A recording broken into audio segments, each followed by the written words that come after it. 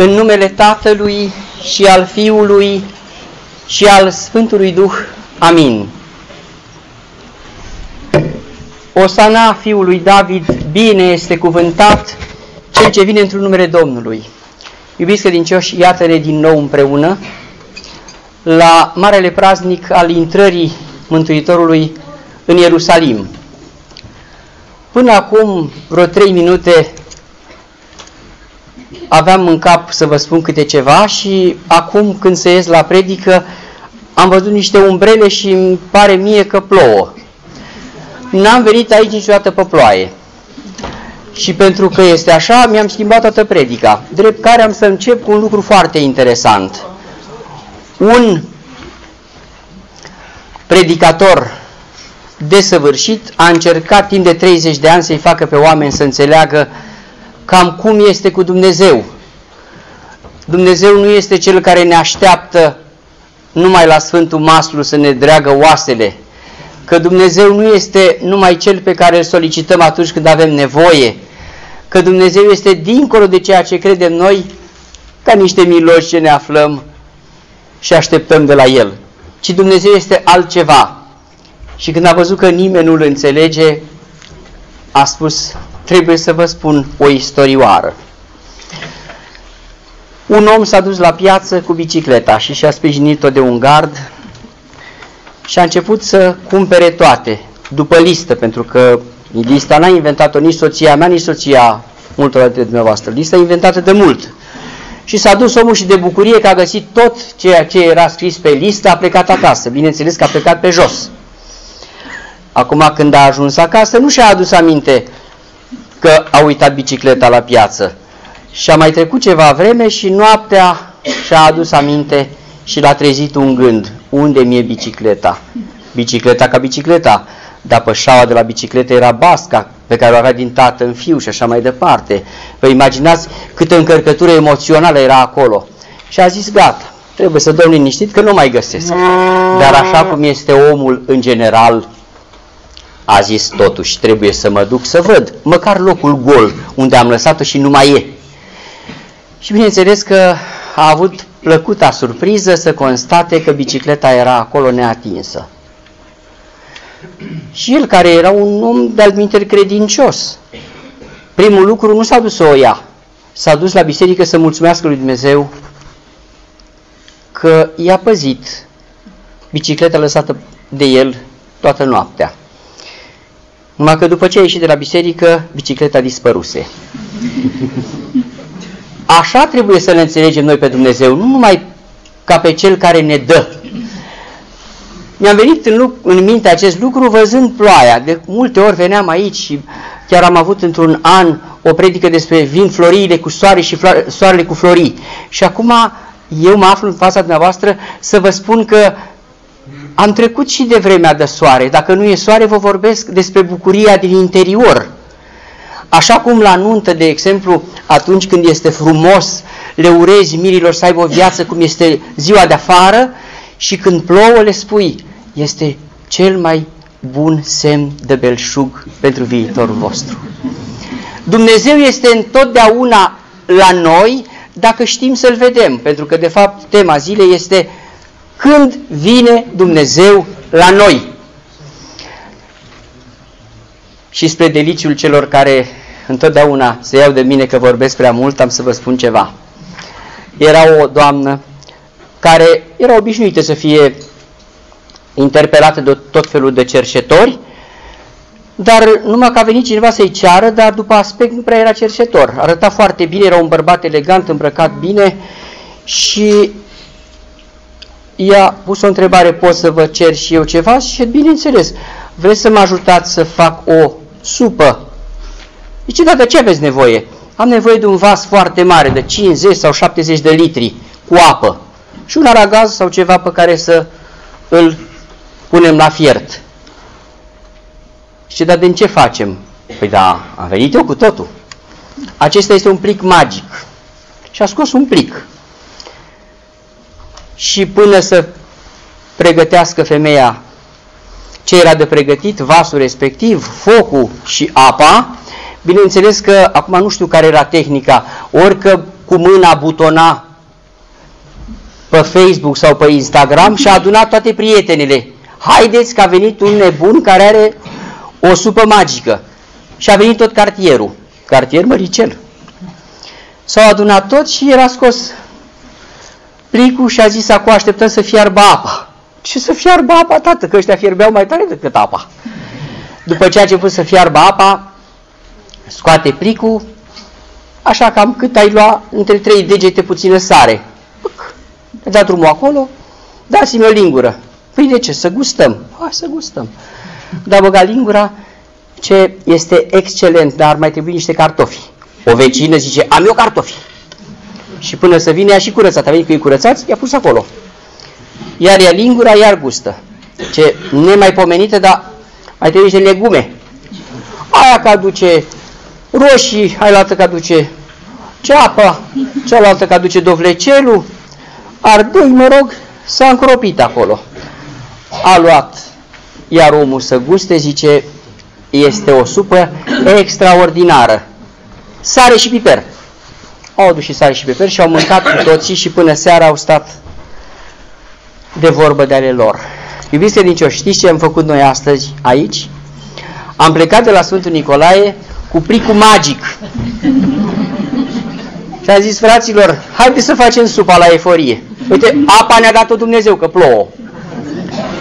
Salcie s-a lăudat părintele, s-au lăudat că o să ne dea la sfârșit, o să vedem. Noi însă am venit, de ce? Ca să ne adunăm. Pentru că nu neapărat ca să mâncăm ne-am adunat aici. Cina Domnului, da, este pregătită, este mare, dar important este că suntem unii cu alții. Și am să vă spun și cum îi văd eu pe cei pe care din binecuvântate pricini lumea uh, îi împarte. Zice, sunt uh, de la Sfântul Nicolae sau sunt de la Eforie? Eu îi iubesc pe toți la fel, mai ales că am mai găsit din mișcarea de rezistență care își mai aduce aminte de mine că eu am fost copil înainte să fiu bunic. Și m-am bucurat că am dat mâna cu foarte mulți care mă știu de când aveam 12 ani, adică în 1979 când am venit cu nenea aici în biserică și iată că au trecut 37 de ani. Mulțumesc tare mult și o să vă aduc aminte fiecare an, ca să știți. Și eu îi iubesc pe toți la fel, dar să știți că să iubești pe toți la fel nu e chiar așa de simplu. Se spune că era odată un cioban în vârf de munte și avea niște oi, mai multe albe și, și mai multe negre. Și vine un reporter cu întrebările probabil învățate de acasă și zice, mai bade, mai bade, hai să spun și eu câteva întrebări. Da, zi, fiule. Zice, oile astea ale matale, cam cât crezi matale că fac pe zi? Cum adică? Păi și cam cât parcurg, ce distanță, câți kilometri? Ce, alea albe sau alea negre? Acum săracul, ca să nu-l încuce, zice, alea albe, dacă așa zice, alea albe. Ce, păi, alea albe, zice, cam vreo 7-8 kilometri. Cam așa. Pe zi, pe zi. Bun, și la negre? Și la negre. Ce mai bate, dar acum cam câtă iarbă mănâncă ele pe zi? Zice, care? Ale albe sau ale, ale albe? Păi zice, cam vreo 3 kg și jumătate până în 4 de iarbă păscută. Ale albe. Și ale negre? Și ale negre. Zice, dar cam câte lână dau pe an? Ă, zice, care? Ele albe sau ele negre? Ele albe. Zice, să știi că dau vreo 6-7 kg de lână, că eu le am ă, foarte pregătite. Zice, ele albe, da, și ele negre, și ele negre. Mai, acum exasperat săracul jurnalist al nostru, zice, măi, bad, uite, am constatat ceva. Ce? Ce am constatat că de fiecare dată când te întreb ceva, ă, îmi propui părea albe, adică mine cam bagi în față. De ce? A, ce e foarte simplu. Ele albe sunt ale mele. Deci, și alea negre, și alea negre. Ăștia suntem noi. Eu așa vă iubesc. Poate că de multe ori o să mă auziți vorbind despre unii sau despre alții. Dar să știți că sunteți ai mei cu toții. Iubiți credincioși, mesajul praznicului de astăzi este acela că Dumnezeu ne vrea împreună. Vedeți, astăzi Dumnezeu a venit în cetatea Ierusalimului, n-a venit la unul acasă. A, că a mai venit altă dată și la câte la, la unul acasă, e altceva. A venit la Lazar ieri, cum ar deveni, a găsit-o pe Marta, pe Maria și acolo a găsit o casă plină, care după patru zile încă se mai văietau, Doamne, dacă era aici, nu murea fratele nostru. Dar ziceam că intrarea Mântuitorului în Ierusalim are clar un anumit mesaj pentru noi de a ne ține împreună.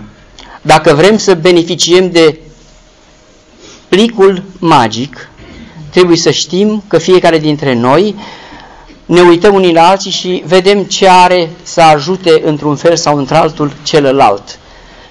Pentru că intrarea Mântuitorului în biserică, în, în Ierusalim, în cetate, a fost întâmpinată de către niște prunci. De ce? Pentru că ceilalți aveau oarece temeri. Și trebuie să vorbim foarte clar. Și acum ne temem uh, să spunem, să aplaudăm pe unul sau pe celălalt, că dacă nu veni la putere, ce ne facem? Și atunci problema este următoarea. Cum și când îl așteptăm să vină Hristos la noi? Hristos vine la noi atunci când îl chemăm și mai ales atunci când îl așteptăm. Pentru că dacă ne adunăm așa numai din praznic în praznic și știm unii de alții, n-am făcut nimic. Hristos vrea ca noi să ne antrenăm. Uitați acum, ne-am dat seama că de fapt noi nu veneam anii trecuți că e soare. Că bine mersi, acum nu mai e soare. Dar cred că o să vină soare după masă. Ca să nu vă stingă grătarele, Doamne ferește. Cred că n-ați uitat cazii dezlegare la pește. Dar deși v-am mai spus de câteva ori, vă spun, peștele nu trebuie să-l mâncați singur. Cine mănâncă pește de unul singur riscă să se nece cu vreun os, Doamne ferește, și n-are cine să-i dea peste cap. Că singur nu poate să ducă mâna să-și dea prea tare. Îți dă el, dar dacă a făcut ceva cursuri, dă ceva, dar, dar nu e suficient. Trebuie cineva să te zgâlție și să, să scapi de os. Adică accentul se pune pe comuniune.